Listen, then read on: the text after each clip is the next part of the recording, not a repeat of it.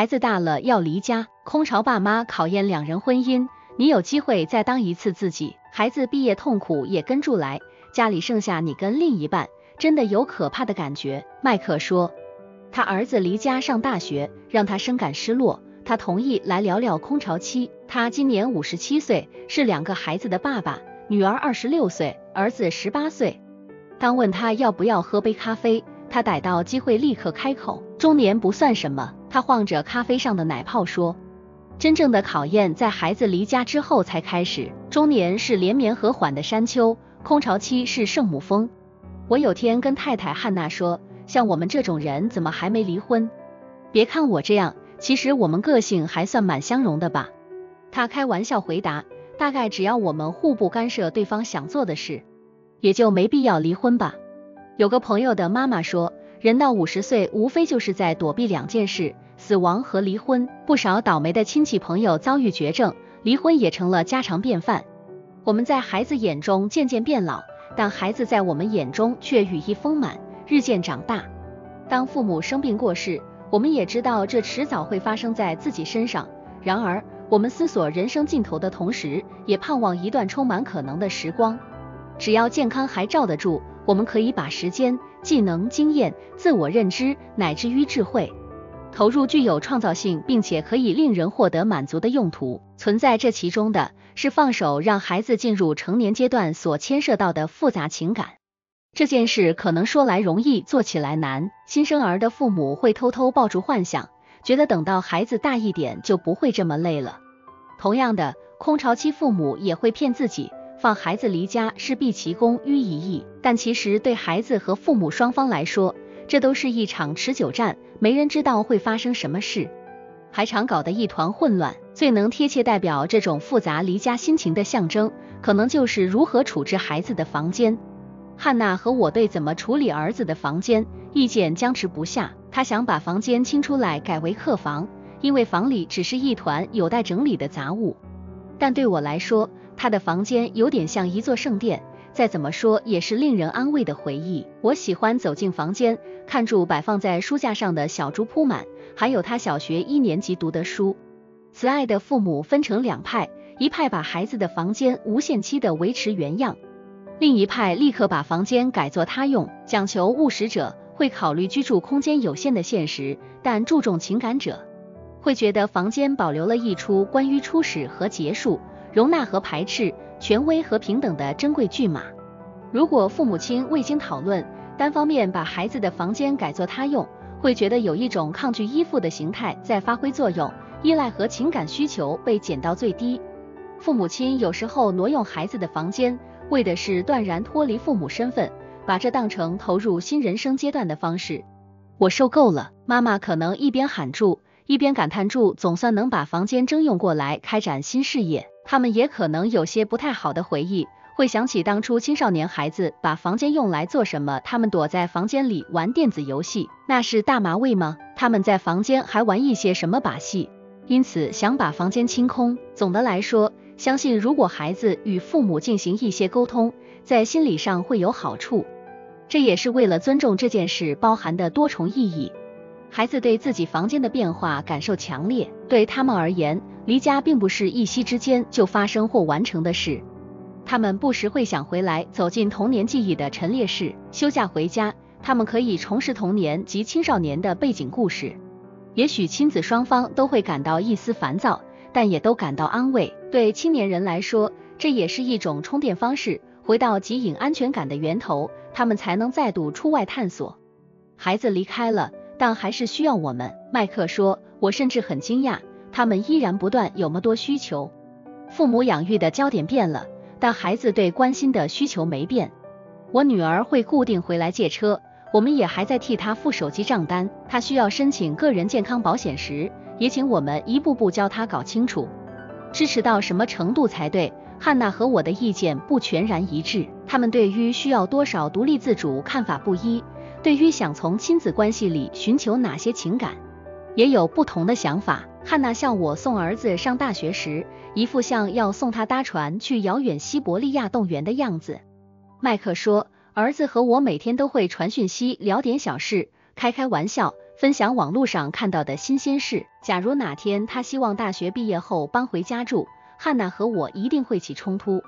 我会觉得儿子愿意回来多好，而他认为我们应该划定界限。他希望分得利落一点，让我们多些隐私和自由，儿子多些独立。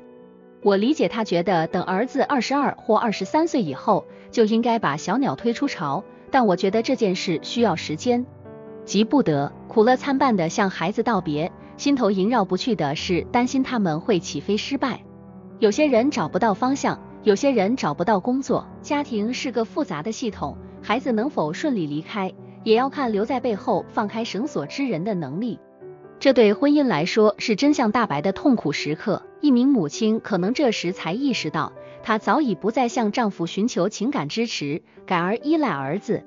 一名丈夫可能会害怕养育孩子的吵吵闹闹结束之后，焦点又得重新放回婚姻上头。然而，就在父母亲正要开始适应新的常态，希望为育儿功德圆满感到满足之际，孩子可能又提出一连串新的需求，需要经济支持、心理咨商、买房租屋。就算情况没这么紧迫，青年人也需要实质与情感的支持。这种朝要空未空的情形可以持续达十年之久。如果家庭的感觉不稳固，青年孩子就更难安心离开。但是之所以会有伴随空巢期而来的离婚冲击，表示有部分夫妻会等到孩子自立以后才让这个家瓦解。银发离婚指的就是五十岁以上的夫妻离婚的潮流，人数比起过去增加很多。等待很合理，父母亲总会想充分陪伴孩子成长，直到童年结束，但也使得孩子的立场尴尬。孩子才正准备离开家，又被分裂和痛苦拉回紧绷的家庭关系中。此外，婚外情让情况更加复杂，父母哪怕别无恶意，也可能变得需求更多且依赖孩子。但这时，孩子的首要之务是建立个性，展开他们自己的生活。矛盾的是，现代婚姻以孩子为重心，轻忽伴侣感情的相处模式，最容易导致婚姻急速走向不满，进而促成银发离婚，扰乱了孩子在青少年晚期至成人初期的生活。即使是希望留在婚姻里的人，也会对麦克的话产生共鸣，想到家里只剩下自己和另一半就害怕。他们不见得知道未来会怎样，但可能默默担心婚姻里已经没剩下什么可以挽回。有一名妇女担心，她和老公都是工作狂，孩子一旦离家，两人几乎变得完全失去连结。有个男人说，他至今记得当初他离家上大学不久，他那看似幸福的父母突然离婚，为他带来的震惊和创伤。现在他女儿也快到上大学的年纪。他想知道有没有办法为婚姻做好预防措施。有位温柔的女性说，这二十年来，她照顾孩子、打理家务、应付社交生活，由能干的丈夫负责赚钱。最小的孩子也离家以后，我一大部分的职责也消失了，这让我很不安。说出来难为情，但我先生会不会把我看成废物？另一个男人提到儿子的自闭症如何让他的婚姻步履维艰，他很难对婚姻的未来有所期待或抱持希望。有一位太太说的更直白，我们已经不知道怎么跟对方说话了。曾有婚姻心理专家以空巢期为题做过一场工作坊，席间讨论孩子离家和父母衰老，也提出不少问题。这些不年轻的与会者跟二十几岁的人问的很像：我在做什么？我的目的何在？一名男士听完团体讨论后说：“我们听起来简直迷惘的丢脸。中年这个人生阶段有诸多方面令人意外，其中一项就是我们谦卑的发现自己所知甚少。想改变的人遭遇到的最大阻碍，就是误以为自己到了此刻早该能够想通道理。事实上，我们正面临古怪而新鲜的事物，最相称的方向可能就是漫无方向。”毕竟，自认已经想通的代价，往往是种停滞不前的感觉。因此，承认迷惘反而有好处，能够对探索和变化保持开放。上了年纪以后，值得留意我们是不是任由过去的心态限制了自己。你的人生到目前为止做过的事，也就只是你目前做过的事罢了。只要你一天还活着，你都能敞开心胸去做不一样的事。如同第一次生孩子，我们都是新手爸妈。孩子离家时，我们也是新手空巢父母。五十七岁的吉姆也参加了工作坊，说起他和太太之间有个问题，从孩子离家之后就变严重了，有时我埋首工作，没花太多心思在太太身上。我喜欢自己那种专心的感觉。但他太太会生气的说，我甚至不确定你还想不想跟我在一起。以前发生过同样的问题，但彼此都理解成是他不善于维持亲密感。强调这点在以前有一定的帮助，有他太太不断索取保证和安慰，这些年来让吉姆一直记得保持情感联系很重要。依附的需求从来不会消失，只要伴侣不断互相安慰、碰触、面向彼此，他们的情感沟通就能够持续运行。问题在于，吉姆以前会因为买手工作感到歉疚，也自觉失职，但现在他开始不耐烦。他想知道为什么。人生到了这个阶段，良好的伴侣关系赋予我们机会，将心力放在兴趣、目标和两人以外的经验。而非阻碍这些机会。我们不只需要亲密和依附，也需要其他满足感和意义的来源。进入创造力突飞猛进的中年，我们会从超越个人兴趣和关注中获得满足感，甚至喜悦。问题不出在吉姆有没有给予太太足够多的关心，而在于他太太是否为丈夫对其他兴趣的热衷程度感到不安，甚或为他自己缺少兴趣而感到不安。直到最近几年。常年婚姻的重要研究者说，对老化的看法都还是一样，光芒渐淡，关系渐渐了无生气，变得平庸，热情消失，被同情取代，这些都可能发生。但研究显示，很多人并未遇上这样的事，这与情感持续成长有着直接的关联。年纪较长的夫妻往往学会善用技巧，减少彼此的负面互动，也能更快的振作复原，精进了用正向情绪安抚自己和另一半的能力。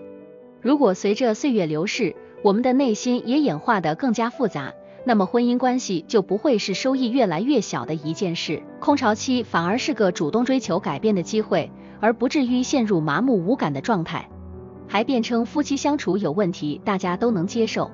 随着人类寿命大幅增加，心理研究一再帮助我们转移晚年人生的典范。终其一生，个人与各种人际关系会不断成长。设计生命没有完结的一天，因为生命是个乐趣无穷且永无完结的设计案。你要为自己打造向前的每一步路。沿用这个的比喻，如果我们知道自己的质地，又拥有适当的情感工具，就能检视婚姻，思考怎样拓宽视野，提升风景。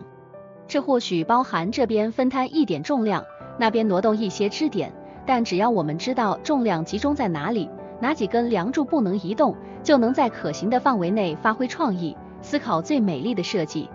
空巢期的生产力混乱，都使人意识到，无论在任何年纪，包括在婚姻里，允许自己当个新手是有价值的。